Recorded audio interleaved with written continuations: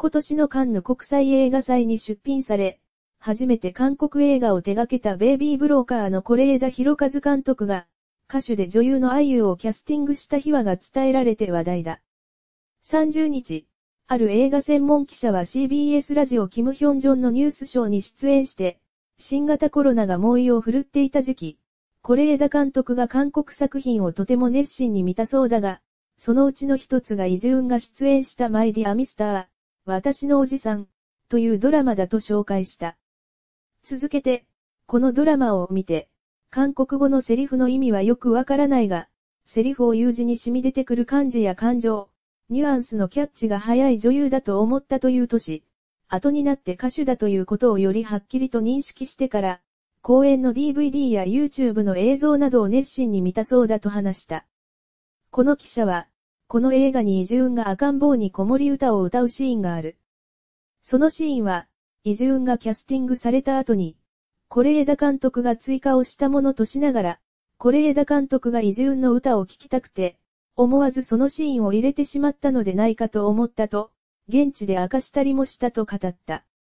それとともに、とても有名な監督なのに、是枝監督がイズウンの魅力にハマったと付け加えた。実際に、是枝監督は今月3日、ベイビーブローカーのキャスティングストーリーを公開しており、マイディアミスター、私のおじさん、を見て、イズウンという女優にどっぷりハマった。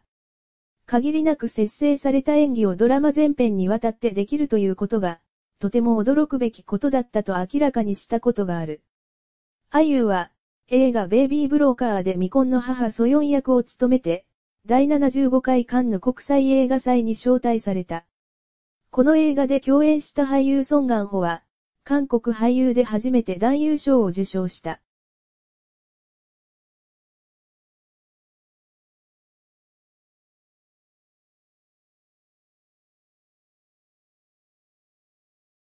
V と G ドラゴン、話題のインスタ合戦その1。デイジー写真対決。V がモノクロの写真を掲載 G ドラゴンがカラーの写真を掲載。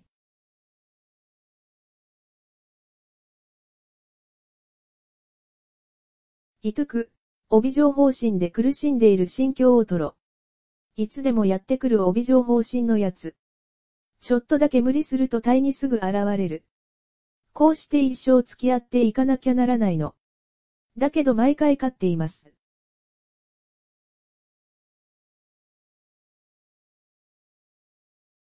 V と G ドラゴン、話題のインスタ合戦その2。雲対決。G ドラゴンが雲の写真を掲載 V が雲を取りに行こうインスタストーリーを公開。